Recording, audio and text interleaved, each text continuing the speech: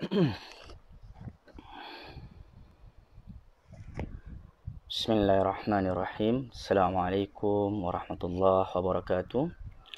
Alhamdulillah wassalatu wassalamu ala Rasulillah wa ala alihi wa sahbihi wa mawalah.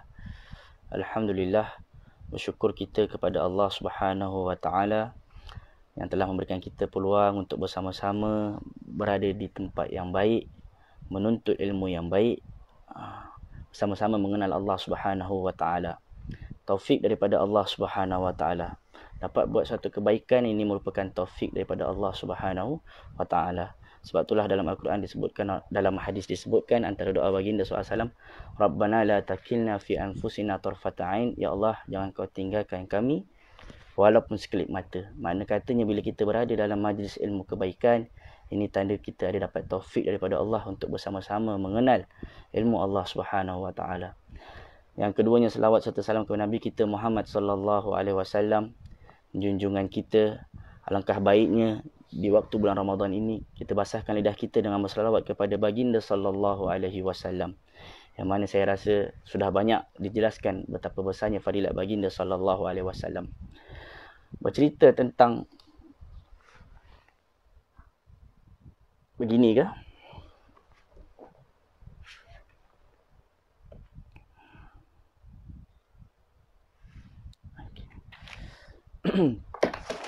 Allah Akbar. Ah,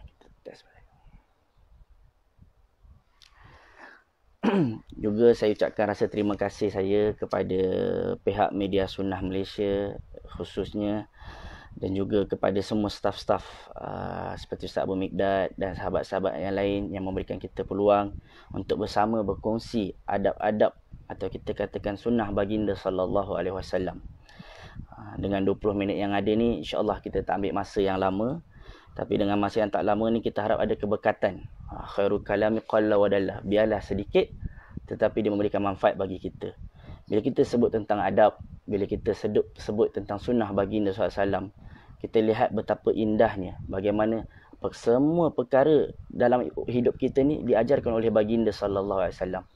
Agama apa yang boleh mengajarkan sampai disebutkan Salman Al-Farisi radhiyallahu an tidaklah baginda SAW meninggalkan kami hatta al-khira'ah sampai nak masuk dalam tandas pun Rasulullah SAW ajar ada tak agama lain yang mengajarkan macam mana cara masuk dalam tandas? Ada tak agama yang lain yang mengajar cara bagaimana bangun tidur? Tidak ada selain daripada agama agama Islam. Sebab itulah sesuai dengan dalam Al-Quran disebutkan al-yauma akmaltu lakum dinakum. Hari ini telah sempurna agama kalian. Hari ini telah aku sempurnakan agama kalian wa raditu lakum al-islam dina. Dan aku ridha Islam itu sebagai agama agama kalian. Insya-Allah 20 minit ini kita mengenal akhlak baginda sallallahu alaihi wasallam mendengar melihat bagaimana baginda SAW ketika bangun daripada tidur dan ketika masuk daripada ketika masuk ke dalam dalam tandas nantinya. Bercerita tentang adab yang pertama iaitu ada adab ketika bangun tidur. Ha, sebelum kita cerita macam mana bangun tidur tu, saya rasa mungkin dalam video ya dalam penjelasan yang lain ada diceritakan bagaimanakah ada adab sebelum tidur. Ha, sebelum tidur tu antara doa yang kita baca Ha, begitu dalam dal, disebutkan dalam kita dah baca dalam hadis adalah Allahumma fawattu amri ilaik ya Allah aku serahkan urusan aku kepada kalian wa as kepadamu ya Allah wa aslamtu nafsi ilaik dan aku serahkan jiwa ini kepadamu ya Allah. Jadi tidur ini sebenarnya adalah kita menyerahkan diri kita kepada Allah, menyerahkan ruh kita kepada Allah Subhanahu wa taala. Sebab tu disebutkan dalam hadis kata baginda sallallahu alaihi wasallam yang diriwayatkan oleh Imam Tabarani rahimahullah. Ah innakum. Innakum kuntum amwata. Sesungguhnya ketika mana kalian tidur itu kalian sedang dalam keadaan mati. Ha, kata ulama maksud mati dekat sini bukanlah mati sepenuhnya tetapi mati majazi bukan mati yang hakiki. Amwata faradallahu ilaihi arha wa ilaikum arwahakum. Jadi ketika mana kita mana tidur itu Allah SWT mengembalikan kita, roh kita Ha, bila mana kita telah bangun daripada tidur. Jadi ketika mana kita tidur tu Allah cabut roh kita sebagaimana disebutkan dalam Al-Quran Allahu yatawaffas fil anfus hina mautiha. Allah SWT memegang jiwa-jiwa orang yang sedang yang dah pun meninggal dunia wallati lam tamut fi manamiha dan mana ketika mana mereka belum ketika mana mereka sedang tidur. Jadi orang yang sedang tidur dan orang yang sedang meninggal dunia dalam tafsir At-Tabari menyebutkan roh-roh orang yang sedang tidur ni dan roh-roh orang yang dah meninggal dunia mereka dipertemukan oleh Allah Subhanahu Wa Taala. Di satu tempat yang mana wallahu alam kita tak tahu. Kemudian bila mana ketika pada waktu pagi Allah SWT kembalikan roh tersebut. Bila mana kita bangun tidur Allah SWT kembalikan roh kita ke jasad kita kepada jasad kita dan mana yang dah meninggal dunia Allah SWT pegang pegang roh ni tersebut.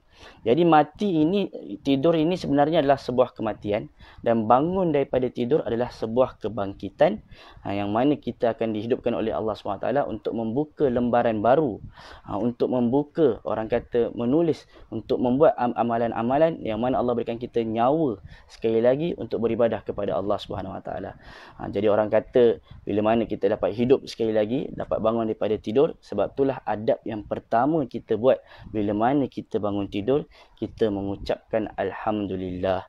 Ha, kita mengucapkan alham alhamdulillah. Maksudnya kita bersyukur kepada Allah. Sebab itulah adab pertama dalam tidur disebutkan kita hendaklah menjadikan perkara yang pertama kita ingat dalam hati kita kita mengingati Allah Subhanahu wa taala kenapa? Ha, kadang-kadang orang bangun daripada tidur ni dia terus cari handphone dia.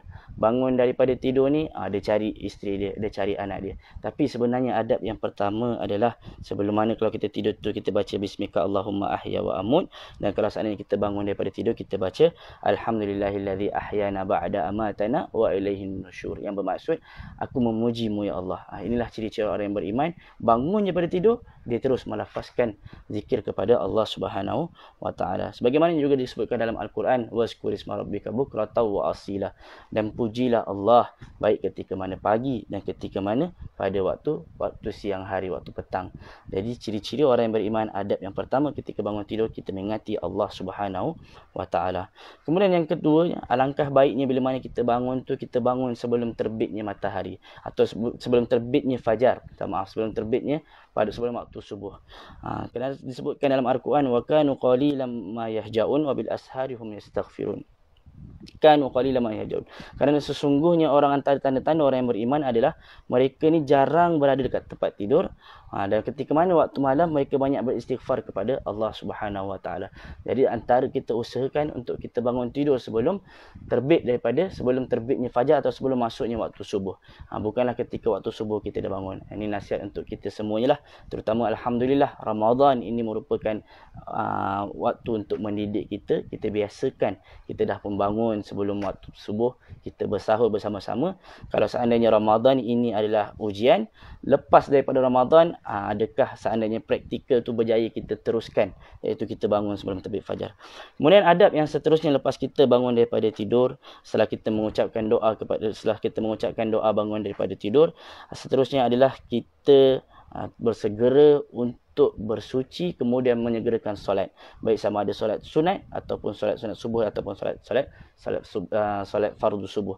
Kerana disebutkan dalam hadis sabda baginda sallallahu alaihi wasallam yang diriwayatkan oleh uh, Imam Bukhari dan Muslim yaqidu syaitan. Syaitan ini dia mengikat uh, di hujung kepala kaum para manusia dengan tiga ikatan ketika mana mereka sedang tidur Ha, yang mana setiap ikatan itu membisikkan kepada si fulan orang yang sedang tidur tu tidurlah engkau malam masih panjang.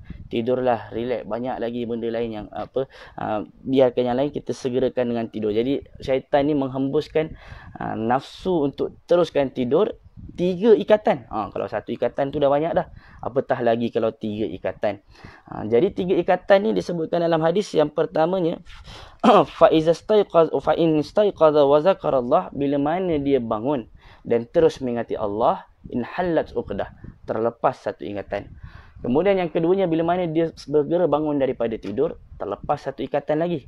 Ha, dia segera berwuduk, terlepas satu ikatan. Kemudian ikatan yang ketiga ni terlepas ketika mana dia mengerjakan solat. Fa'in salat ihalat ikhdah. Tiga ikatan yang syaitan ikatkan kepada kita ni. Macam mana bentuk ikatan tu Ustaz? Ha, Wallahualam kita tak tahu. Dalam perkara yang gaib ni, kita beriman kepada Allah Subhanahu Wa Taala kita beriman sahaja syaitan ikat caranya macam mana wallahu alam. Tapi nak melepaskan tiga ikatan ni kita ingat Allah kita berwuduk kemudian kita mengerjakan solat. Maka kata Rasulullah fa asbaha nashitan wa tayyiban nafs. Bila dia buat tiga benda ni Allah Subhanahu Taala akan jadikan hatinya ni bersih dalam keadaan semangat untuk ha, mengerjakan ibadah Allah untuk mencari rezeki pada pagi hari. Tapi kalau dia tak buat tiga benda ni, ha, fa asbah khabithan nafsi kaslan. Maka ketika tu hati itu dalam keadaan orang kata letih, dalam keadaan khabith, penat, kaslan dalam keadaan bermalas-malasan. Jadi alangkah baiknya kita amalkan tiga benda ni merupakan adab ketika mana kita bangun tidur.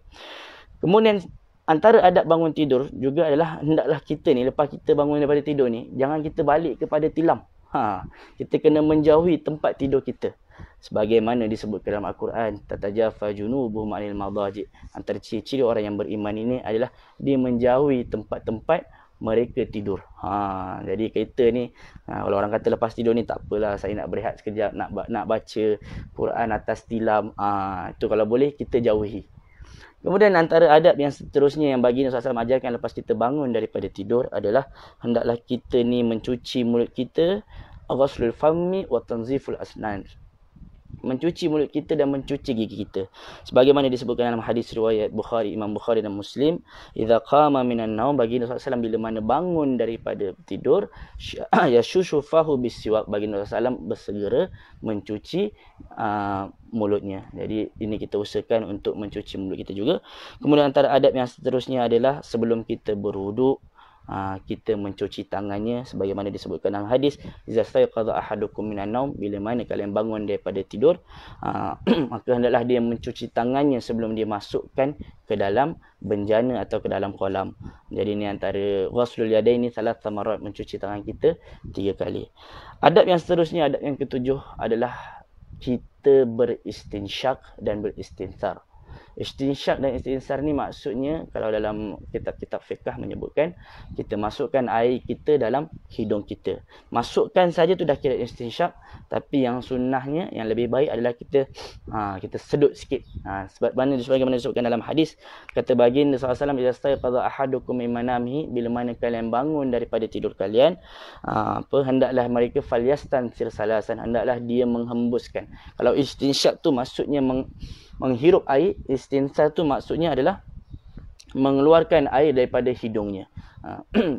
kerana sesungguhnya fa inna syayatin kerana sesungguhnya syaitan itu bermalam di hidung-hidungnya. Macam mana syaitan bermalam di hidung kita wallahu a'lam kita beriman dengan hadis baginda SAW maka adab yang setelah kita bangun dari tidur ni kita bersegera berwuduk dan kita beristinsyak dan beristinsar Jadi inilah adab-adab yang bangun daripada tidur uh, yang mana bila kita ingat Allah Subhanahu Wa Taala kita bangun sebelum terbit fajar kemudian kita bersegera berwuduk.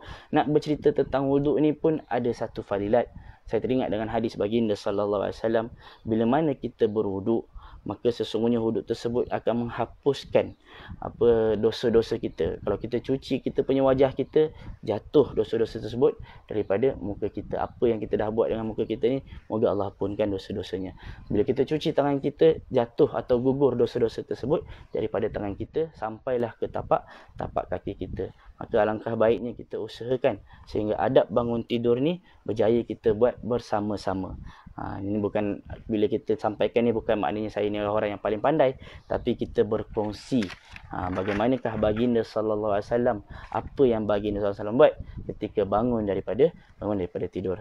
Ha, saya rasa itu yang pertamanya sekarang kita masuk kepada yang kedua pula iaitu adab masuk ke dalam tandas. Ha, adab masuk ke dalam tandas. Menarik juga bila kita melihat. Jadi ada beberapa buku yang cantik untuk kita baca. Ha, sebagaimana Al-Adab wal Muf apa Al-Adab al Mufrad buku saya Imam Sahih Bukhari, Imam Bukhari radhiyallahu an. Dia menulis jadi ada Sahih Bukhari itu satu kitab, kemudian ada Adab Mufrad itu satu kitab juga bercerita ada adab yang baginda sallallahu ajarkan. Juga ada Amalul Yawm wal Lailah daripada Imam Nasai, amal pagi dan malam yang diajarkan yang ditulis oleh Imam Nasai rahimahullah. Jadi buku-buku ini sangat indah untuk kita baca. Insya-Allah kita akan lihat dan kita boleh ambil istimbat beberapa orang kata adab-adab yang Rasulullah SAW ajarkan ketika mana kita masuk ke dalam tandas. Sebelum kita berbicara tentang masuk dalam tandas ni, ah, ada tak soalan adab bangun daripada tidur? Okey, saya rasa tak ada. Kita terus masuk ke dalam bangun tidur sebab berbaki bagi kita 10 minit lagi. Adab untuk masuk ke dalam tandas, aa, ah, saya rangkumkan lebih kurang ada dalam 12. Ha, 12 adab ni nak masuk dalam tandas ni. Boleh tahan banyak. Eh, adab masuk dalam tandas ni pertama ketika kita nak masuk tandas, uh, hendaklah kita membaca doa yang diajarkan oleh baginda SAW. Allahumma inni a'udzubika minal khubuthi wal khaba'is. Aku berlindung kepada Allah daripada kotoran. Khubuth itu kotoran. Khaba'is itu maksudnya daripada syaitan. Syaitan baik jantan ataupun betina. Ha, ada sebuah hadis tapi ada pertikaian dalam hadis daripada riwayat hadis ni. Ha, jadi disebutkan malaikat ni menemani manusia di mana sahaja manusia itu pergi melainkan ketika mana masuk ke dalam tandas malaikat tak ikut sekali. Ha, sebab tandas ni tempat syaitan.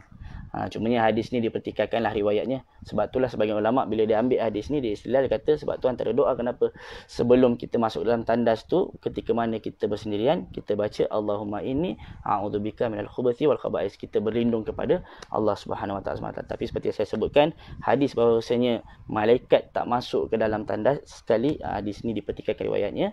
Ha, bahkan Syekh Abdul Utsaimin rahimahullah ada memberikan tiga pendapat dalam hal ini dan dia berpegang bahawasanya malaikat tetap masuk uh, dan tetap memerhatikan kita. Kemudian juga disebutkan dalam hadis satru ma baina a'yunil jinni wa aurati baina bani adam. Antara yang menghalang uh, jin jin-jin uh, dan aurat Bani Adam sebab biasanya bila orang masuk dalam tandas mestilah dia dalam keadaan tidak berpakaian. Bila mana dia tak dalam keadaan berpakaian, maka ketika tu jin boleh nampak tetapi bila mana dia membaca bismillah kata Rasulullah idza dakhala ahadukumul khala kalau kalian masuk ke dalam tandas maka bacalah bismillah maka ketika itu Allah hijabkan Allah tutup pandangan jin sehingga tak nampak aurat kita. Jadi dua bacaan yang perlu kita baca bismillah yang keduanya Allahumma inni a'udzubika minal khubuthi wal khaba'ith. Adab yang pertama. Adab yang kedua bila kita masuk ke dalam tandas masuklah dalam keadaan dengan kaki kaki kiri. Uh, bukan dengan kaki kanan. Kerana baginda SAW uh, Imam Nawawi rahimah mengatakan segala benda yang ada takrim yang memuliakan kita mulakan dengan kanan.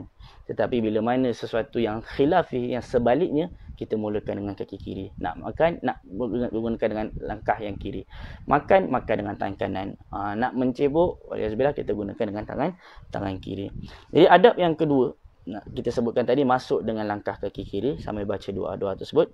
Kemudian adab yang seterusnya adalah adamu istiqbal kiblah. Bila masuk ke dalam tandas, bila kita nak buang hajat kita, tak boleh bagi kita untuk uh, usahakan untuk tidak menghadap kiblat ataupun membelakangi kiblat. Uh, tapi dalam hukum fiqah disebutkan uh, kat sini ada dua. Andai kata dekat kawasan padang pasir tak boleh pandang kiblat, tak boleh belakang kiblat. Tapi sekiranya dalam bangunan, kalau dalam bangunan, maka uh, benda ni diizinkan tetapi hukumnya itu makruh. Maksudnya tidak digalakkan. Ha, tak sampai tahap haram. Kerana ada hadis bagi apa, pernah suatu ketika Ibnu Umar Ibnu Umar radhiyallahu anhu pernah naik dekat atas rumahnya Hafsah radhiyallahu an dan melihat ketika itu di dalam rumahnya uh, melihat baginda SAW di dalam bangunan. Baginda SAW sedang membelakangi kiblat ketika mana membuang membuang hajat. Ha, jadi mungkin kat sini ada sebuah rukhsah. Tapi kalau boleh kita cuba elakkan terutama bila kita nak bangun rumah ke ha, kita tengok adakah dia menghadapi kiblat memandang kiblat atau tidak sebagai memuliakan kiblatnya Allah Subhanahu Wa Taala. Adab yang seterusnya adalah adam istiqbal istiqbali muhibbir rih, menjauhi tempat-tempat yang mana angin tu kencang. Sebab apa? Sebab kita takut nanti najis tu aa, ha, boleh sampai terkena pada kita. Sebagaimana disebutkan dalam hadis riwayat Imam Muslim, innahuma yu'adziban. Ketika mana Rasulullah SAW lalu ke sebuah kubur, Rasulullah kata aku melihat Ha, apa ada dua orang yang diazab dengan teruknya. Yang mana azab tersebut bagi, apa yang pertama orang yang an-namimah yang man, banyak mengumpat Ah, yang yang banyak mengadu domba. Yang keduanya adalah yang yang mana tidak menjaga dirinya daripada la yastanzihu minal maut. Yang tidak menjaga dirinya daripada kencing. Bila mana dia buang air kecil atau buang besar berlaku angin yang kuat terkena bajunya. Ha, kalau boleh kita jauhi ini antara adab. Kemudian antara adab juga adalah tidak bercakap ketika mana di dalam di dalam toilet ha, di dalam tandas. Kerana dalam riwayat Muslim disebutkan hadis baginda SAW inna rajulan yusallim. Ada seorang ni sedang mengucapkan salam kepada baginda SAW dan SAW sedang membuang hajat ketika itu Rasulullah SAW tidak menjawab salam tersebut. Jadi dalam tandas dalam tandas kalau boleh kita tidak banyakkan bercakap. Seterusnya antara ad, Antara adab juga ketika mana kita masuk dalam tandas ini adalah kita tidak menggunakan tangan kanan kita uh, untuk memegang kemaluan kita baik depan ataupun belakang. Sebagaimana disebutkan dalam hadis riwayat Imam Bukhari dan Muslim, "Idza bala ahadukum" uh, ketika mana kalian sedang membuang air kecil, maka janganlah kalian pegang uh, kemaluan kalian, zakar kalian dengan tangan kanan kalian dan janganlah kalian beristinja dengan tangan kanan kanan kalian. Ha, lihat betapa tangan kanan ni ada kemuliaannya. Ha, bahkan ketika nanti di hari akhirat bila mana kita nak terima amalan kita, kita ambil dengan tangan kanan kita. Juga antara adab yang seterusnya adalah Ha, bila cerita tentang tangan kanan ini jugalah. Ha, ya dura apa kana bagi kana nabi kana yaj'alu yaminihi li ta'amihi wa syarabihi wa thiyabi wa ja'al shimalu lima siwa dhalik. Ha, diriwayatkan dalam Imam Abu Daud rahimahullah bahwasanya Abu Daud rahimahullah bahawa sesungguhnya Rasulullah SAW menjadikan tangan kanannya itu dalam makannya minumnya pakai, pakai pakaiannya ha, bahkan dalam kawasan tandasnya dan kirinya itu untuk perkara-perkara yang lain. Kemudian adab yang seterusnya adab yang ketujuh ada muqadail hajah fi tariqin. Ha, okey tidak boleh membuang hajat di tempat jalan-jalan orang awam. Allah lihat Ha, kalau seandainya kita perhatikan macam mana zaman-zaman dahulu, okey, zaman dahulu di mana orang Eropah zaman dahulu ha, disebutkan tai-tai itu berada dekat tengah-tengah jalan. Kemudian sampai sekarang kalau pernah kita tengok kadang-kadang dekat China masih ada orang yang buang sembarangan. Ha, ini menyalahi adab dan Rasulullah SAW dah ajarkan dah bila kita nak buang hajat ni, ha, disebutkan kata Rasulullah SAW, wa ittaqul la'anin jauhilah orang-orang yang dilaknat. Sahabat kata, Ya Rasulullah, siapakah mereka yang dilaknat tersebut? Kata bagi Rasulullah SAW, yang mana mereka ini membuang ah, hajat di jalan-jalan manusia. Uh, ataupun di tempat manusia berteduh. Pergi dekat pokok, dia, kecil, oh, dia buang air kecil di sana, dia buang air besar dekat sana. Ini menyalahi adab baginda sallallahu alaihi wasallam. Kemudian adab yang ke-8 juga adalah tidak membuang hajat di air yang tertakung disebutkan dalam riwayat Muslim kata baginda sallallahu alaihi anna Nabi sallallahu alaihi yanha an yubala fi ma'ir rakid Allah melarang Rasulullah melarang untuk membuang air kecil di air yang tertakung. Ha, berapa ramai daripada kalangan manusia yang bila dia pergi ke swimming pool, dia pergi ke tempat mandi-mandi, dia kencing kat sana. Waliyazubillah. Ini menyanggai, me, me, apa, melanggar. Orang kata adab baginda sallallahu alaihi wasallam yang Rasulullah ajarkan kepada pada kita. Dan kata baginda sallallahu juga la ya bulan ahadukum fil ma'id daim. Ah, thumma yaktasu minhu. Tidak tidak boleh bagi kalian aku larang kalian untuk membuat air kecil di air yang yang yang tidak mengalir. Kemudian adab yang kesembilan adalah tidak kencing di makanil wuduk di tempat orang-orang berwuduk. Biasa kalau kita pergi masjid, kita nampak kat masjid tandas ada tempatnya, uh, buat uh, tempat berwuduk pun ada tempatnya. Andai kata ada si fulan atau contohnya lah kita bawa anak kita, anak kecil kita, kemudian anak kecil kita tu kita malas nak bawa pergi tandas, kita cebok dia dekat tempat orang-orang berwuduk. Uh, ini dilarang oleh baginda sallallahu alaihi wasallam. kerana kata baginda dalam disebutkan kata baginda SAW la ya bulan ahadukum fi mustahmi. Janganlah kalian kencing dekat tempat di mana orang-orang hammam eh. jadi zaman dahulu ni dia ada hammam dia ada ada tempat ghaib. Hammam tu tempat mandi. Khala atau qada al hajat tu tempat orang buat tempat orang uh, tempat tandas lah jamban kita sebutkan. Uh, jadi Rasulullah SAW larang untuk pergi ke satu tempat yang mana orang mandi dekat sana orang berwuduk dekat sana. Kemudian uh, syarat yang ke apa adab yang ke-10 pula adalah ijtinabu qada'il hajah fil masajid. Kita, uh, ini menjauhi orang apa buang air kecil, buang air besar di tempat di dalam masjid. Ha, ini sebenarnya kita ambil daripada hadis bila mana ada Arabi, ada seorang Pak Arab ni dia kencing dekat Masjid Nabawi. Ha, lepas tu sahabat ni pula bersegera nak tegur dia. Tapi Rasulullah kata, "Da'uh, biarkan dia dulu." Ha, pertama kata nampak apa hikmahnya ha, sebab dia ni orang Arab, orang Arab Badu. Ha, kadang-kadang bila orang Arab Badu ni ditegur nanti lebih teruk lagi. Ini menunjukkan tak semestinya kebenaran tu perlu disampaikan sentiasa pada apa uh, secara terang-terangan atau orang kata tepat waktu, pada waktu ketika itu juga. Tak semestinya orang buat kemungkaran terus kita tegur. Tak semestinya. Kita kena tengok pada uh, maslahat dan mafsadah. Kita kena raikan orang yang melakukan tu siapakah dia. Uh, seperti mana kalau Pak Arab ni, uh, badu, ketika mana dia kencing dekat Masjid Nabawi, uh, ketika itu orang kata biarkan dahulu. Kemudian bila mana dia dah ni, orang Arab tu pergi lalu Rasulullah kata janganlah kalian kencing dekat dalam masjid sebab masjid tu tempat solat tempat berzikir kepada Allah kemudian Rasulullah SAW ajarkan uh, cucilah zanubun minal ma cucilah dengan air kemudian uh, timbus dengan tanah yang seterusnya, uh, adab yang seterusnya, adab yang ke-11 adalah hendaklah ketika mana kita ni uh, masuk ke dalam tandas atau kita nak buang hajat kita, kita menjauhi daripada manusia. Sebagaimana disebutkan dalam hadis kata bagin uh, kharaj tu sahabat keluar bersama baginda sallallahu alaihi wasallam. Kemudian wa idza kana idza arada al hajat ibta'al rasulullah sallallahu bila rasulullah nak menunaikan hajatnya nak buang air kecil besar rasulullah menjauhi daripada para para sahabatnya. Al istitar kalau zaman sekarang ni uh, kita tutuplah pintu kita. Uh, makna katanya ni kalau seandainya kita kencing dekat kawasan kalau kita pergi tandas bagian tandas ada yang tempat yang orang kata buang air kecil yang berdiri tu. Ha, yang dekat dekat dalam din, dekat dinding tu. Ha, ini dah menyalahi antara adab baginda SAW iaitu tidak al-istitar tidak menutupi dirinya antara dirinya dengan dengan orang lain. Ha, kita tutup dengan adab yang terakhir adab baginda SAW bila mana kita keluar daripada tandas Rasulullah SAW mengajarkan bacalah wufranak Wufranak ni ya Allah aku mohon ampun kepadamu ya Allah. Kalau kita masuk kita minta perlindungan daripada Allah, bila kita keluar kita mohon ampun. Kenapa kita sebut wufranak? Apa apa faedah daripada wufranak ni? Ada dua. Ha, yang pertama kata ulama, bila masuk dalam tandas ni kita tidak mengingati Allah. Ha, sebab tak boleh berzikir kepada Allah. Ha, maka ketika mana kita masuk ke dalam kita ke mana kita keluar, kita memohon ampun kepada Allah sebab kita tak berzikir kepada Allah ketika mana kita dalam tandas. Tapi ada juga ulama yang mengatakan kenapa disebut kenapa disunahkan untuk baca ghufranak ini bila kita masuk ke dalam bila kita keluar daripada tandas kita dah pun membersihkan. Orang kata kita dah buang air kecil kita dah buang air besar secara fizikal kita dah bersih uh, daripada kotoran-kotoran.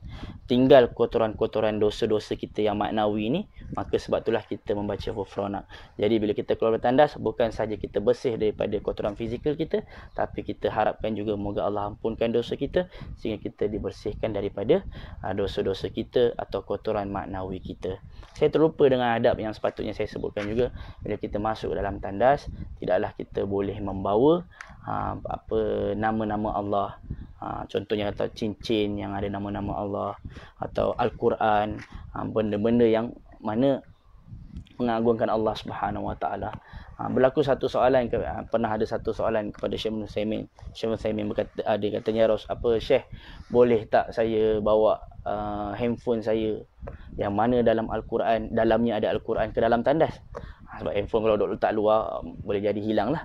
Ha, Syekh Simon kata uh, boleh tak jadi masalah. Tapi tutup handset tu masukkan dalam dalam handset. Masukkan dalam dalam poket. Lepas tu orang tu tak buat kata, betul ke Syekh boleh bawa handset yang dalam dia adalah Quran ni? Ha, ini kira farat lah kira permasalahan caw, uh, cabang cawang. boleh ke? Kali kedua kata saya kata boleh. Kali ketiga saya kata boleh. Ha, lepas tu dia kata habis tapi ni ada dalam Al-Quran. Saya kata habis tu kalau misalnya kata seorang hafiz, seorang yang hafal Al-Quran ni, ha, dia masuk dalam tandas Al-Quran yang dalam kepalanya tu nak dikemanakan. Maka sebagaimana Al-Quran yang dalam kepalanya tu dijaga, begitu juga handphone yang dalam Al-Quran tu ditutup, masukkan dalam poket dan jangan dikeluarkan. Ha, ini menandakan juga berapa ramai daripada kita ni kadang-kadang dia dia main handset dalam tandas. Ha, dia main handset dalam tandas, tiba-tiba dia main handset dia buka Facebook ya Zubillah, ada ayat-ayat Al-Quran ada hadis-hadis Rasulullah SAW ini telah pun menya, mela, apa bersanggah atau tidak sesuai dengan adab baginda sallallahu alaihi wasallam. Ha, terima kasih ha, ha, saya ucapkan ha, saya segan ramai orang datang hadir ini kali pertama saya live sebenarnya. tak pernah saya live uh, kat Facebook ni. Ada abang Uzi, ada abang Nash Oyon, ada abang Yusaini, ada abang Syarifuddin, abang Najib, abang Abu Abdul Rahman, abang Fuadi, abang Nizam, abang Hanafi, abang Ibn Ja'far, abang Abu Ha, Abu Uwais Abdullah, ah, Abu Widad, abang Abdul Aziz, Abu Mustaqim, ada Ustaz Abu Asma juga. Allah, orang-orang hebat semuanya, tak layak sepatutnya. Jadi saya minta maaf atas selebihnya waktu. Uh, mungkin kalau seandainya ada soalan mungkin boleh diajukan di ruang komen dan nanti ada asatid-asatid yang lain yang akan uh, sampaikan. Kita tutup dengan tasbih kafarah subhanakallah wa bihamdika asyhadu an la ilaha illa anta astaghfiruka wa atubu ilaik. Alhamdulillah uh, kalau nampak kat sini ada cahaya uh, ini bukan lampu uh, ini matahari. Kita masih ada dekat Madinah lagi ni. Uh, belum berbuka puasa. Minta maaf lah kalau suara tu serak-serak. Ha, baru pertama kali live tiba-tiba suara pun haus ha, dah serak menunggu waktu berbuka puasa kami berbuka puasa lebih kurang hampir 15 jam. Ha, jadi saya minta maaf atas segala kekurangan. Wabillahi taufiq wa hidayah. Wassalamualaikum warahmatullahi wabarakatuh